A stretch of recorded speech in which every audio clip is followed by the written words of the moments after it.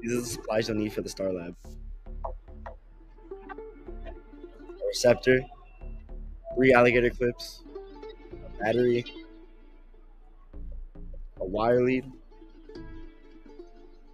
a star chamber, a white LED, red LED, green LED, UV LED, blue LED, and a yellow LED. For this part, you're going to connect the wire to the alligator clip and make sure to connect it to the wire part of it, not the rubber rubber part. Next, you're going to connect the receptor to the other alligator clip and to an extra alligator clip at the end. Next, place your LED face down into the star. Make sure that the red wire alligator clips are in the shorter prong and the black wire alligator clip is on the longer prong.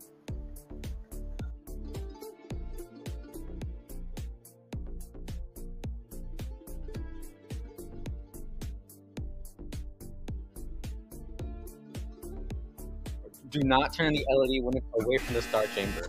Do not look directly at the LED while it is away from the star chamber.